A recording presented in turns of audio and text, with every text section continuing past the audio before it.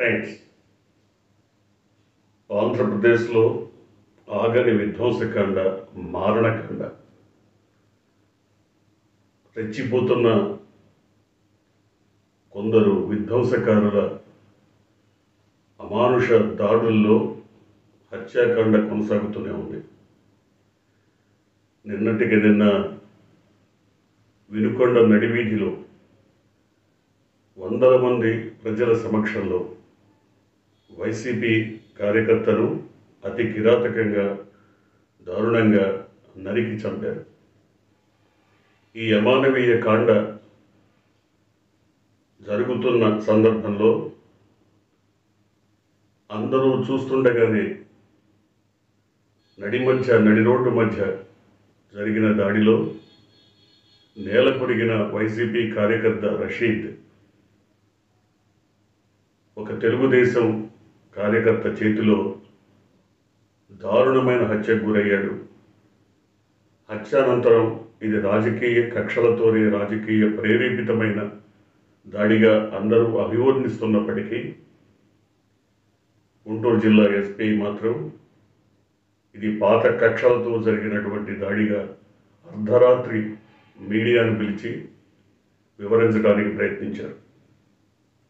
స్పష్టంగా ప్రజలందరి సమక్షంలో జరిగిన దాడి చనిపోయిన వ్యక్తి యువకుడు వైసీపీ కార్యకర్త చంపిన వ్యక్తి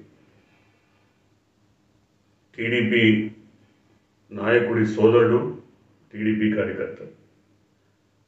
స్పష్టంగా అర్థమైపోతూనే ఉంది జరిగిన దాడికి ప్రధానమైనటువంటి అంశాలేంటో. కానీ దీన్ని రాజకీయ హత్యగా చూపించకుండా వ్యక్తిగత కక్షలతో జరిగిన దాడిగా అభివర్ణించడానికి పూర్తి సాక్ష్యాధారాలు లభించకుండానే పూర్తిగా దర్యాప్తు జరగకుండానే విషయాలు తెలియకుండానే ఎస్పీ వ్యక్తిగత కక్షగా వ్యక్తిగత కక్షలతో జరిగిన హత్యగా అభివర్ణిస్తూ మీడియాకి తెలియపరిచారు. ఈ హత్య ఈ అమానవీయ దారుణ మారణకాండ జరిగిన కొన్ని గంటలు గడవక ముందే ఈరోజు ఉదయం పొంగనూరులో ఎంపీ మిథున్ రెడ్డిపై రాళ్ళ వర్షం రాళ్ళ జరిగింది. ఆయన తెలుగుదేశం దాడుల్లో గాయపడి లేదా అనేక రకాలుగా చిత్రహింసలకు గురైనటువంటి వైసీపీ నాయకులను కార్యకర్తలను పరామర్శించడానికి పొంగనూరు వచ్చినప్పుడు ఆయనపై ప్రత్యర్థులు రాళ్ళ దాడి చేశారు.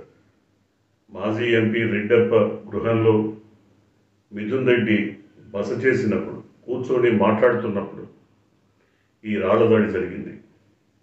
విచక్షణారహితంగా మిథున్ రెడ్డిపై దాడి చేయడానికి మిథున్ రెడ్డి వెంట ఉన్న కార్యకర్తలపై దాడి చేయడానికి ప్రయత్నించినప్పుడు ఘర్షణ జరిగింది. మొత్తం మీద పోలీసుల సమక్షంలోనే ఈ మొత్తం వ్యవహారం జరగడం గమనార్హం. స్పష్టంగా ఆ మొత్తం దురాగతాలని చిత్రీకరించినటువంటి అనేక మంది పోలీసుల ప్రేక్షక పాత్రను స్పష్టంగా చూపించగలిగారు. తమపై దాడి జరుగుతుందని తెలియపరిచిన పోలీసులు మిన్నకుండిపోయారని ఉన్నతాధికారులు ఆ ఘటనా స్థలికి ఆ సమయంలో రాలేదని వైసీపీ నాయకులు చెప్తున్నారు. మిథున్ రెడ్డి కూడా ఈ అంశాన్ని ఖండించారు. ఎల్లకాలం అధికారం చేతిలో ఉంటుందని భావిస్తే అది పొరపాటునని ఈ రకమైన సంప్రదాయానికి తెరదీస్తే మరి రిటాలియేషన్ ఎవరైతే గాయపడ్డారో ఎవరైతే క్షతగాత్రులైనారో వారు కానీ వారి కుటుంబ సభ్యులు కానీ ఇదే రకమైన దాడులకు తెగబడితే విధ్వంసకాండ జరుగుతుంది. రాష్ట్రంలో అరాచకం రాజ్యమేలుతుందని. కాబట్టి ఈ రకమైన సంప్రదాయాలకి తిలోదకాలు ఇవ్వాలి. వీటిని ఇప్పటికైనా విడనాడాలని మిథున్ రెడ్డి విజ్ఞప్తి చేశారు. కానీ పొంగనూరులో ఆయన గత నాలుగైదు రోజుల క్రితం ఒక వారం క్రితం గాయపడ్డ క్షతగాత్రులైన నిరాశ్రుడైనటువంటి తమ కార్యకర్తలను పరామర్శించడానికి రావాలనుకున్నప్పుడు ఇదే రకమైనటువంటి పరిస్థితులు ఉద్రిక్త పరిస్థితులు ఎదురయ్యాయి ఆయనపై దాడికి ప్రయత్నించడంతో అప్పుడు ఆయన వెనుదిరిగి వెళ్ళిపోయారు. కానీ ఇవాళ కూడా అదే రకమైన పరిస్థితి ఉంది. ప్రత్యర్థులు ఆయనపై దాడి చేయడానికి ప్రయత్నించారు. అంటే రాష్ట్రంలో ఒక రకమైనటువంటి విధ్వంసకరంగా నిన్న జరిగినటువంటి వెనుకొండ అది దారుణమైనటువంటి సంఘటన. ఆ- సంఘటన నుంచి తేరుకోక ముందే పుంగనూరులో ఈ రకమైన వాతావరణం. ఎక్కడికెక్కడ? దాదాపు పుంగనూరు ప్రాంతంలో ఐదు వందల నుంచి ఆరు వందల కుటుంబాలు ఈ దాడులను ఎదుర్కోలేక ఈ అరాచకాలను ఎదుర్కోలేక దౌర్జన్యాలను దమనకరణను ఎదుర్కోలేక వారంతా ఇళ్ళు ఆస్తులు వదులుకొని వెళ్ళిపోయినటువంటి పరిస్థితి. అనేక మంది రైతుల పంట పంటలను అంటే హార్టికల్చర్ నిమ్మ తోటలు కానీ లేదా అరటి తోటలు కానీ లేదా మిగతా ఇట్లా తోటల్ని నరికివేసినటువంటి పరిస్థితి. ఆస్తులు కోల్పోతున్నారు. దౌర్జన్యాలకు బలై శతగాత్రులై ఆసుపత్రులు పాలవుతున్నారు. చాలామంది నిరాశ్రులైపోయి ఇళ్ళు వాకిళ్ళు ఆస్తులు వదులుకొని వేరే ప్రాంతాలకు వలసపోతున్నారు. ఇంత దౌర్జన్యకాండ ఇదంతా కూడా దాదాపుగా ఎన్నికల తేదీ నుంచి ఎన్నికలు జరిగిన నాటి నుంచి ఇప్పటి వరకు కొనసాగుతూనే ఉంది. ఇప్పటికీ కొనసాగుతోంది. ఈ రకమైనటువంటి దౌర్జన్యాలకు దురాగతాలకు పాల్పడుతున్న వారిని కట్టడి చేయాల్సిన బాధ్యత ప్రభుత్వంపైనే ఉంది. అది ఏ పార్టీ అయినా కావచ్చు. పార్టీలకు అతీతంగా ఖచ్చితంగా చర్యలు తీసుకోవాలి. దౌర్జన్యకారులు దుండగులు ఈ రకమైన దుష్కృత్యాలకు పాల్పడుతున్న వారు ఎవరైనా సరే వారిని కఠినంగా శిక్షించాల్సినటువంటి అవసరం ఎంతైనా ఉంది. కానీ ప్రభుత్వం ఇప్పటికీ కూడా దీని మీద సరైనటువంటి చర్యలు తీసుకోవటం లేదన్న విమర్శ సర్వత్ర వినపడుతోంది.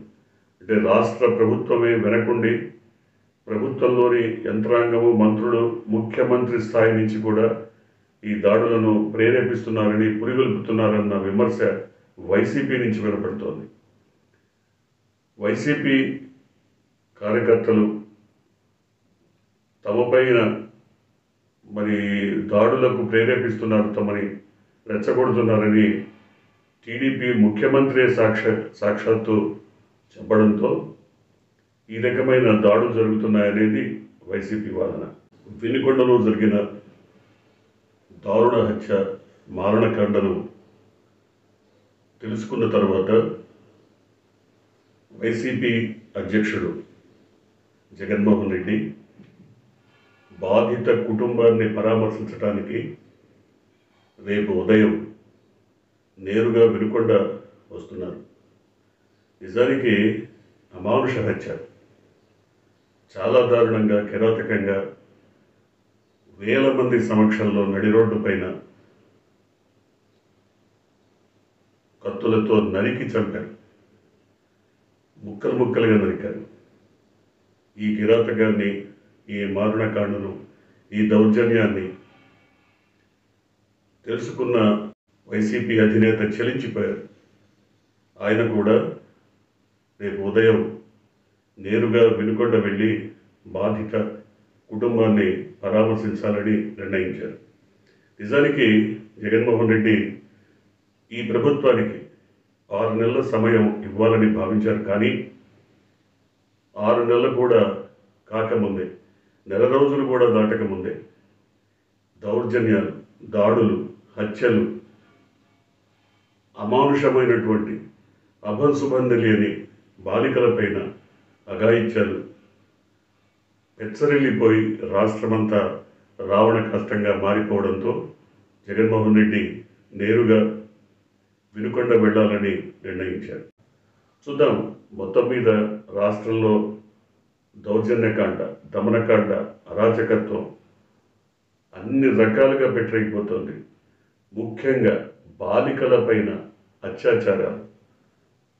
ఎక్కడో ఒక సుగాలి ప్రీతి విషయంలో జరిగినటువంటి దాడిని జగన్ ప్రభుత్వం పైనంటి ఈ కిరాతకాలని ప్రశ్నించినటువంటి ఉప ముఖ్యమంత్రి కూడా వరుసగా జరిగినటువంటి ఈ నెల రోజుల్లో జరిగిన పది ఉదంతాలను మరి పట్టించుకున్నారో లేదో ప్రశ్నించారో లేదో ఏమి చేస్తున్నారో అర్థం కానటువంటి పరిస్థితి. ఈ దమనకాండ ఈ హత్య రాజకీయాలు ఈ అకృత్యాలు అఘాయిత్యాలు అమ్మాయిలపైన వీటన్నిటి వెనక ఉన్నది ఎవరో ప్రజలు గమనిస్తూనే ఉన్నారు. ఇప్పటికైనా ప్రభుత్వం కట్టడి చేయకపోతే ఇలాంటి వాటిని ఆపకపోతే రాష్ట్రంలో అరాచకం రాజ్యం వెళ్తుంది. పరిస్థితులు చేయదాటిపోతాయి కాబట్టి తప్పకుండా కేంద్ర మరి విజిలెన్స్ శాఖ కానీ నిఘా వర్గాలు కానీ దీనిపైన సవివరమైనటువంటి ఒక నివేదిక తయారు చేయాలి. అట్లాగే సుమోటోగా ఈ ఈ కేసుల్ని ఇలాంటి వాటిని కోర్టులు కూడా స్వీకరించి ఎవరు బాధ్యులో వారిపైన చర్యలు తీసుకోవాల్సిన అవసరం ఎంతైనా ఉంది. మరి చూద్దాం. ఈ రావణ కష్టం ఇప్పటికైనా చల్లారుతుందో లేదో.